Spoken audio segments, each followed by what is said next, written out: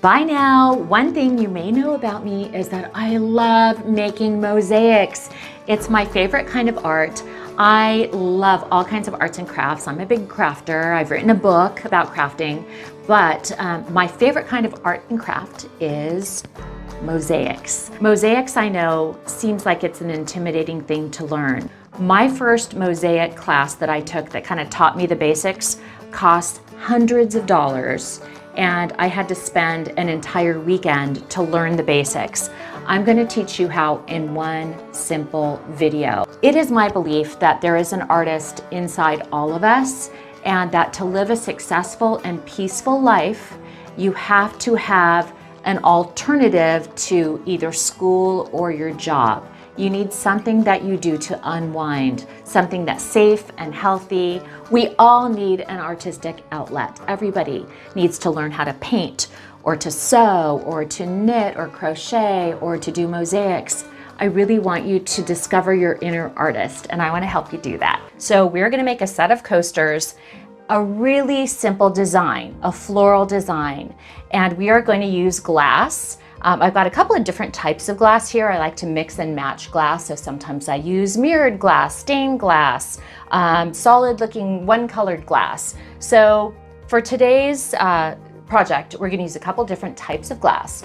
We're gonna use glue, uh, we're going to use grout later when we grout the project after we let them dry for 24 hours.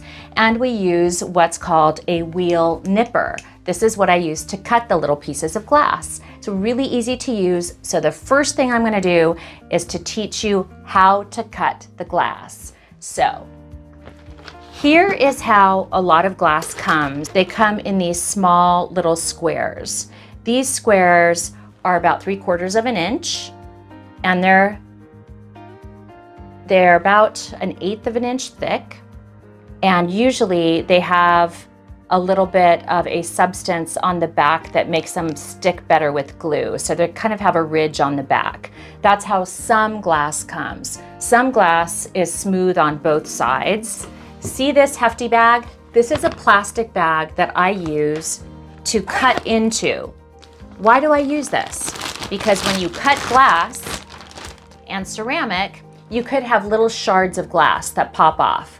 So a couple things to keep in mind. Make sure that um, if you have a drink around the area that you'll be working, that you put something over it so you don't get a shard of glass in there.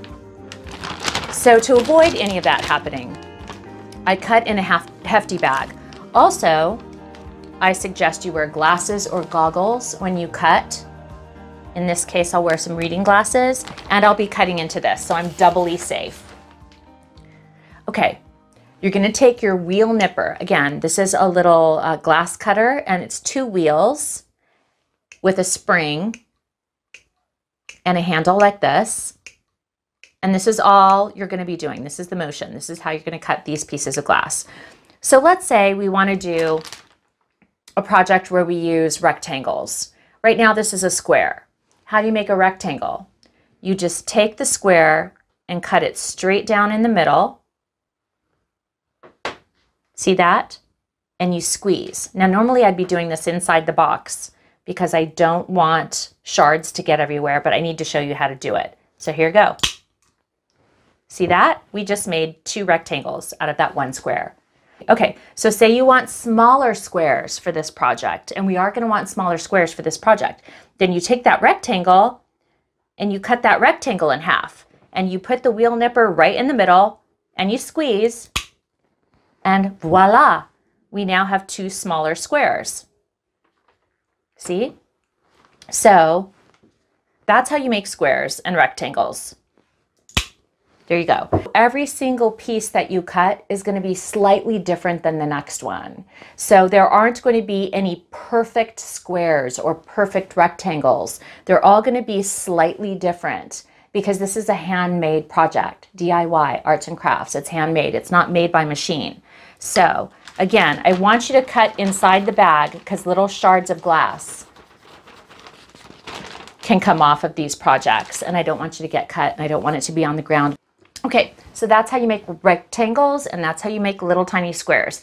How do you make a circle? Sounds hard, right? So not hard. So you take this, again, you're gonna take the uh, square glass and you're gonna start to nip off the corners. See this? I'm just gonna nip a corner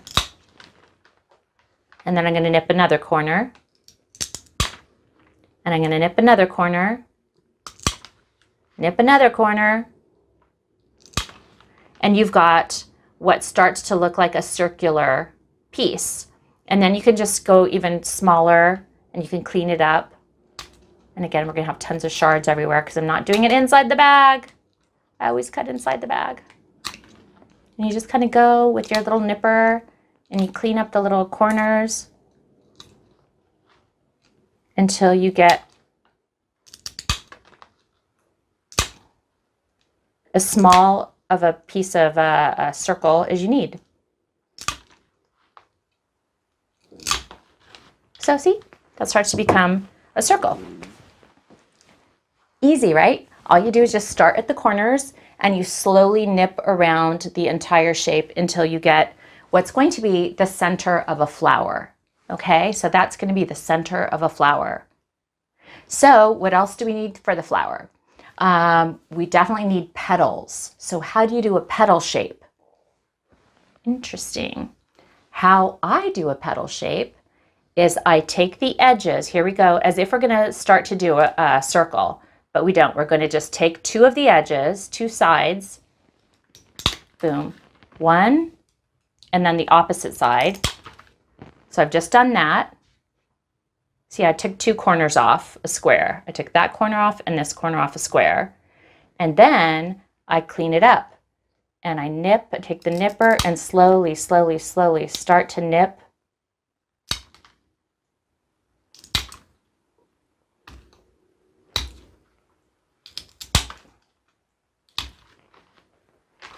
And I turn it around. And again, I've left two of the corners of that square on. And those are the two edges, the two long edges. There you go, it's pretty good. Clean it up a little bit. There we go. That is a petal. See that? It's like a leaf or a petal shape. So here's all the shapes I just showed, showed you how to make. They started like this, and that's how most mosaic pieces come as the square. And from this square, I made a circle I made a petal, petal like that, started like that. I made a rectangle and tiny squares. See, super easy. Now, if you can learn to do any of these four shapes, you can pretty much do anything in mosaic art. This is all we need for this simple project because we are going to make two coasters and we're gonna do one flower on each coaster.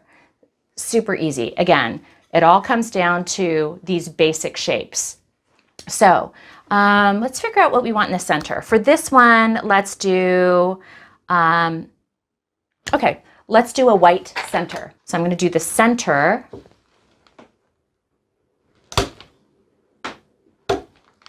taking off the corners first.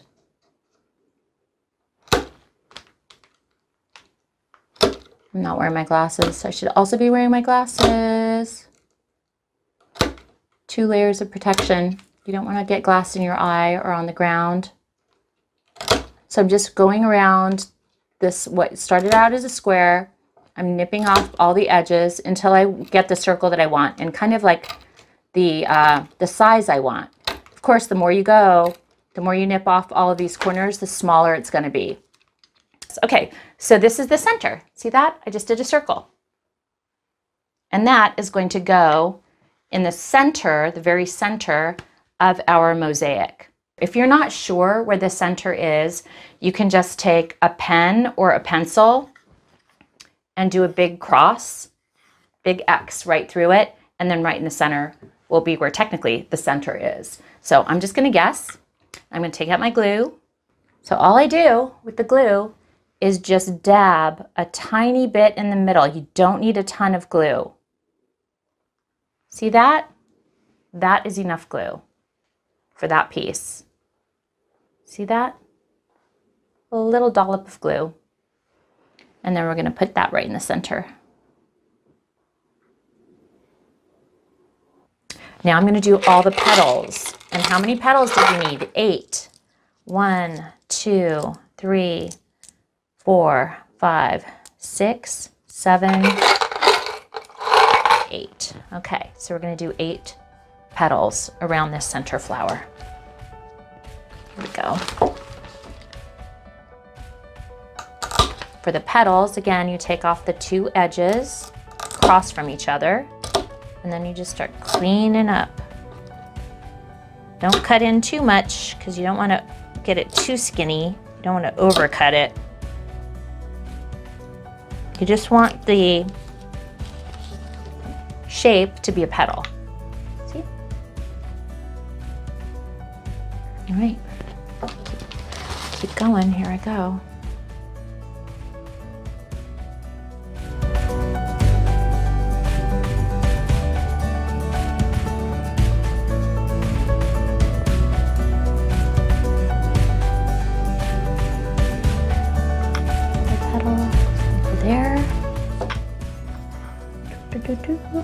It's kind of a fatty, it's a little bit fatter. Okay, break, wine break. Mm-hmm. Delicious, then put that back on. All right, here we go. Let's do another one, what just fell.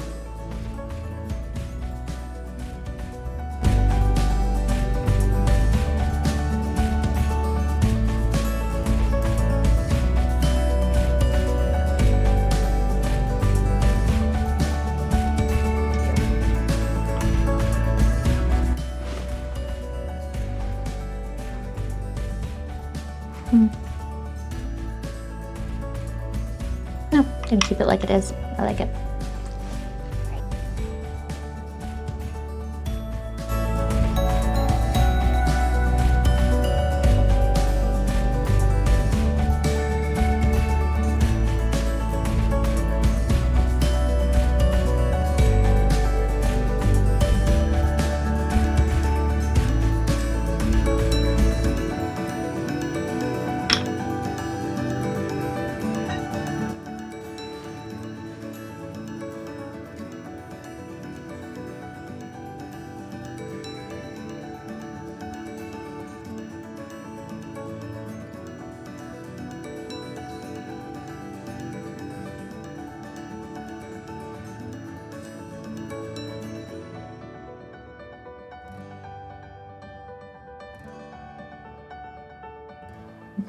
One will go right there.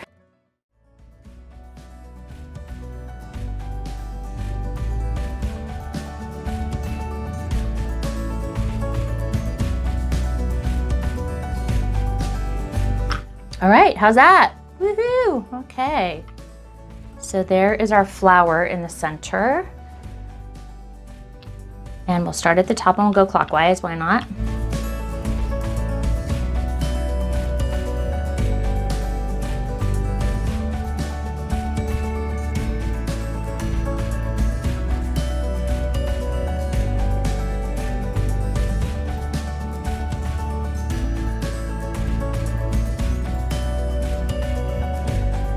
Petals in one center. Okay, so how do we fill in the rest? For the background, I need about five or six of these, and I cut them down into the small squares. I'm just pre-cutting. I like to pre-cut things because then it's easier. I do all the cutting and then I do all the gluing, but you can't always do that. For now, I know kind of how many I need approximately. I'm gonna do a little pre-cutting and then I'm gonna start uh, working from the middle out. And I suggest when you do your mosaics, you always start from the middle and work outwards. And the only thing I've decided to do to kind of make it all similar is I'm gonna do a square in each corner. And again, leaving about an eighth of an inch at the edges. Why? Because we're gonna have grout. Grout going on the edges. So I'm gonna start with all four corners, a little tiny dab of glue in the middle. See? It's about that much glue for these little squares.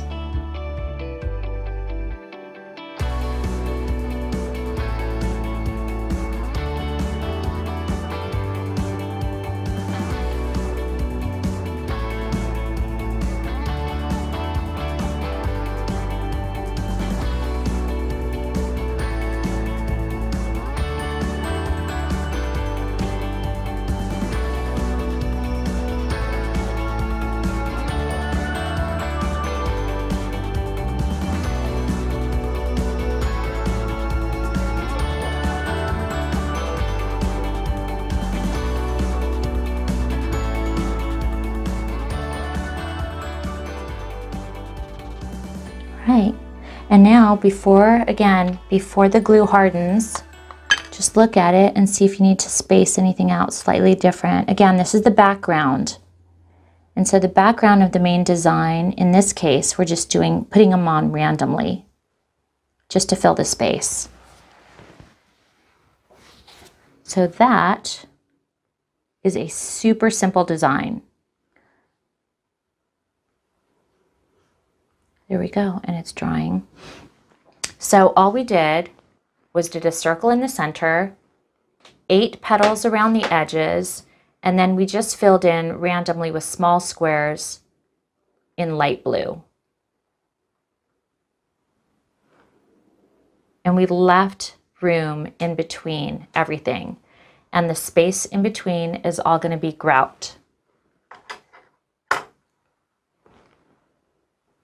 Really simple design. So this is Mosaic 101. this is really easy. This is about as easy as you can get. This is just a simple coaster design. It's a square, so it looks great at every angle, right? Um, while this uh, dries, because it'll take a few minutes to dry, you can kind of go around if you want to center something, if you think something's slightly off.